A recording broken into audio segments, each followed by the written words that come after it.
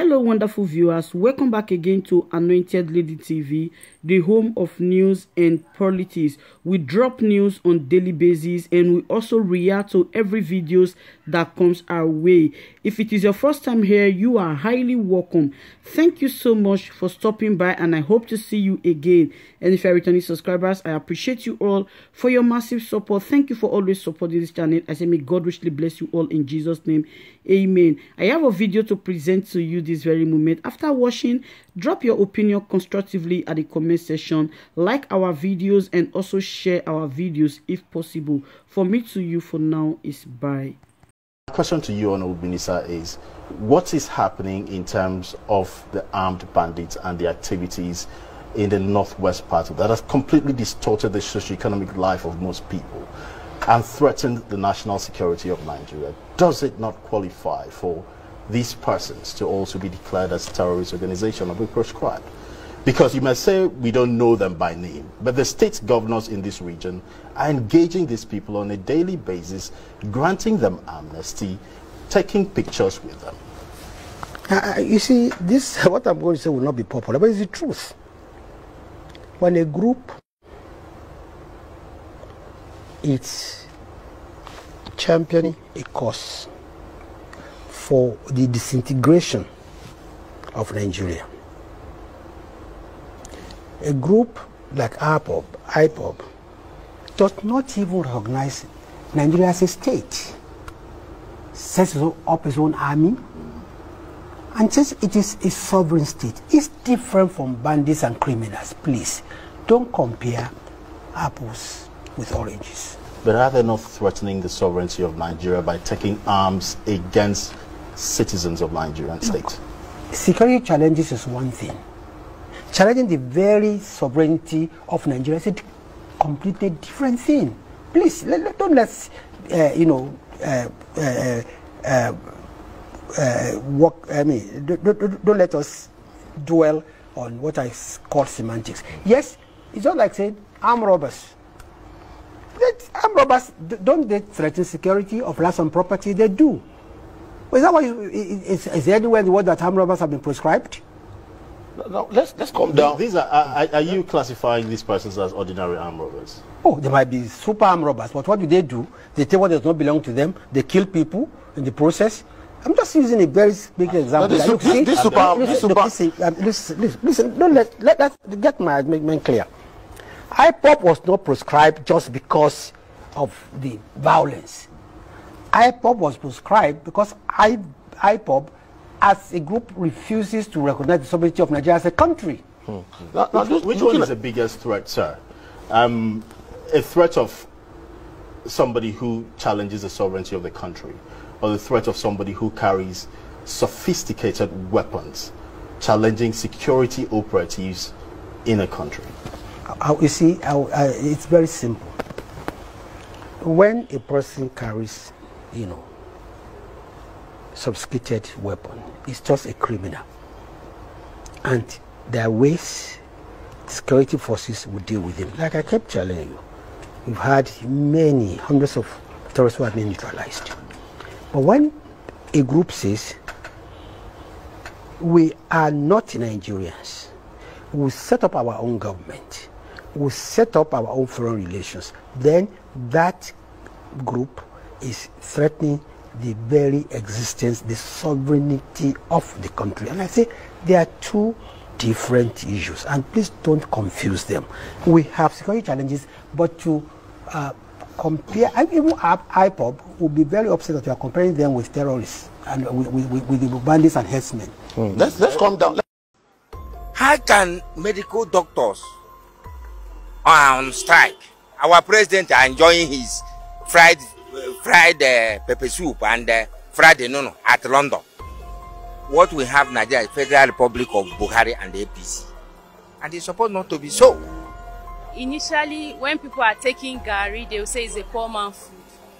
But now garri no be poor man food o a mudu of garri now have skyrocketed to five hundred. Beans eight hundred nine hundred.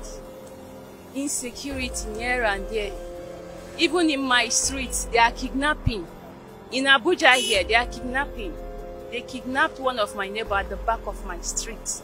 But as God might have it, as God might have it, he regained his freedom.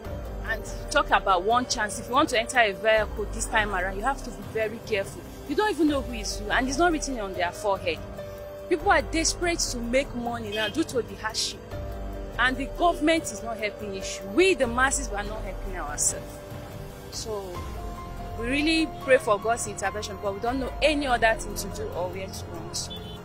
No, uh, what I've seen in a newspaper is bandit terrorizing the nation. The, what response to that, uh, responsible for that uh, uh, terrorist in the country is unemployment. People are suffering day in, day out, especially youth. And even those that have retired, they cannot get their benefit. The youth finish schools, no work for them. And there's no work, they will be thinking evil, what to do to survive. And the people in the helm of affairs, when the budget is, uh, when they bring the budget, they will share it and put it in their pocket. Instead of them to invest it in the country for people to, to enjoy, they will not. Instead, they either change it to dollar and keep in their in their house or keep some to oversee to go and invest there and the people in the country cannot cannot enjoy it this is what happened in uh, russia and uh, china in those days where big men i mean the youth they gather and start killing uh, big men and uh, the resultant later is to have what is called a command economy. What do you mean by command economy? Command economy is a situation where government responsible for the whole people. The house you are, sleep, you are, you are sleeping, your school fees, your everything responsible for federal government. For that, if they cannot operate a federalism, they should go to command economy because we have three type of uh, economy in the nation, in the whole world. We have free economy. We have mixed economy, which the one Nigeria is practicing. Then we have command economy. The one Russia and uh, China is operating now is command. If they can go into it, the, the responsibility of uh, all the people in the country should be should be vested in government. That is exactly what is uh, these people are doing before uh, Mama, Mama, uh, Mama Gaddafi and they, they corroborate and kill him say he's not doing well now they are they are now looking at what is happening in uh, in uh, this thing now Libya so government should sit down and think they should go to the drawing board and think that if the the people the rich if the poor are not uh, are, are, if the poor are not settled the rich who cannot sleep. The government have no regard to anybody. What we have Nigeria is Federal Republic of Buhari and APC. And it's supposed not to be so. You have to think of others. That's why you are having all these things. Even if you kill 10, if the whole Hausa people die, I will not be better than what I am. If the whole Igbos die, all these beggars in the north will not be rich men. This is how a leader is supposed to think. You don't think of us, you don't think of Yoruba. We are all Nigerians and we are proud of this country. The only thing we have to tell ourselves is the truth. Just like youths. I blame them. When Okowo, Okowo was the, the president of Nigerian students, they removed the colonel that was a minister. He must go, he must go.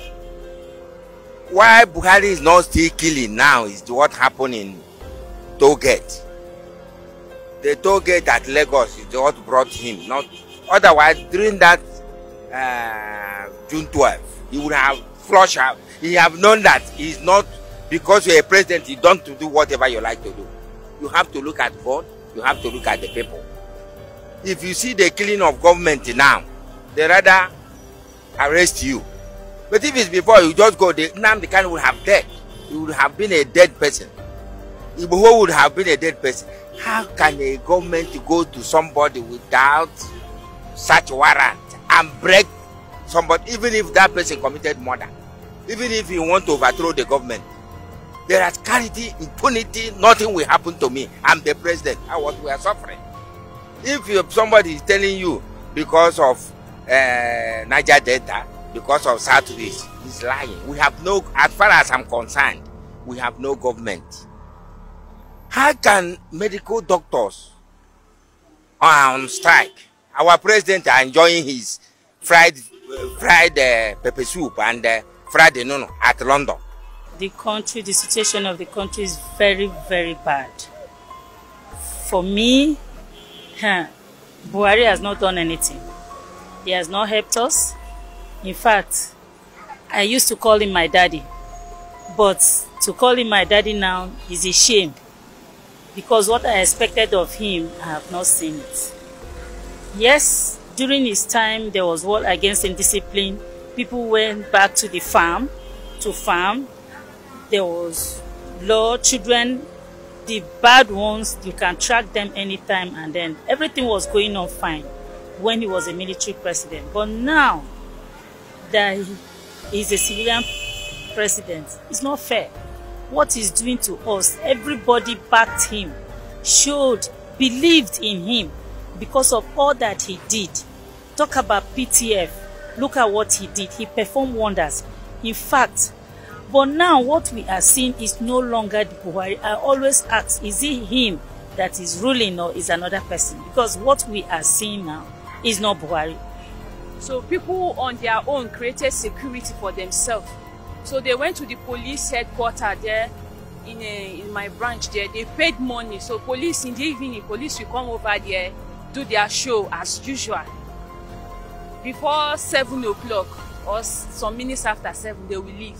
Then the local vigilantes that we are paying we now take in charge. And each street in my place have their own barricade. Uh, we are paying them because we cannot depend on government any longer. So that is that is just it. And the kidnapping rate is is high every day by day. It's, it has become as if it's a form of business. Killing everywhere, no security, kidnapping everywhere, and he is there, he doesn't care. It's not fair. I've not seen this in good good luck Jonathan. Anywhere you see bomb blast, you see good luck there. Anywhere you see killing, you see good luck there. He must touch that state.